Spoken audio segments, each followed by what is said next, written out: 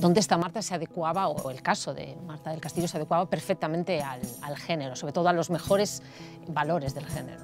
Es trepidante, este caso lo es y esta serie documental mm. lo es, puede beber perfectamente de lo cinematográfico. También es un género que muchísimas veces pone en cuestión los estamentos sociales, que está muy comprometido con la investigación. En Sevilla siguen buscando a la joven de 17 años que se sabe de su paradero. La familia Ella sigue sin tener ningún dato sobre su paradero. Lo que sí nos apetecía era provocar una sensación, que es, si hay tanta gente que no quiere hablar de este tema, tras 12 años, ¿por qué es? Y yo creo que ahí es donde entra el periodismo, ¿no? que es hablar cuando otros quieren que calles.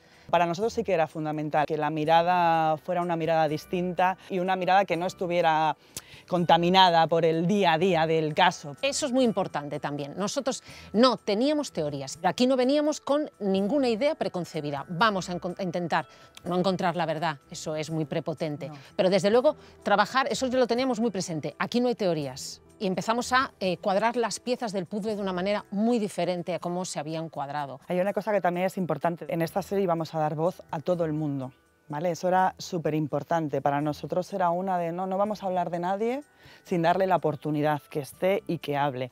Y después una cosa que nos empezó a sorprender y que nos parecía muy potente, que es que ocurrió en un año, que ahora decimos 2009, 2009 es la crisis, y la crisis cruza el caso. Economía claramente en recesión para el año 2009. Sin lugar a dudas, el año de la crisis económica y el año... ¿Crisis? Los efectos de la crisis... De la crisis internacional. Por la crisis de las hipotecas basura. Es decir, muchas veces nos decíamos a nosotras, contexto, contexto y contexto porque nos parecía súper importante. No lo tratemos como un caso aislado. Esto ocurrió en un momento, en un país, y este caso, en parte, representa un país en ese momento.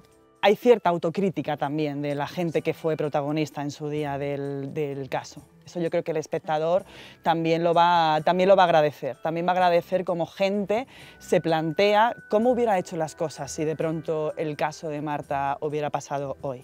Yo creo que la gente no es consciente de la cantidad de puntos de giro, de elementos narrativos brutales que tiene el caso. Entonces, esta es una sorpresa continua.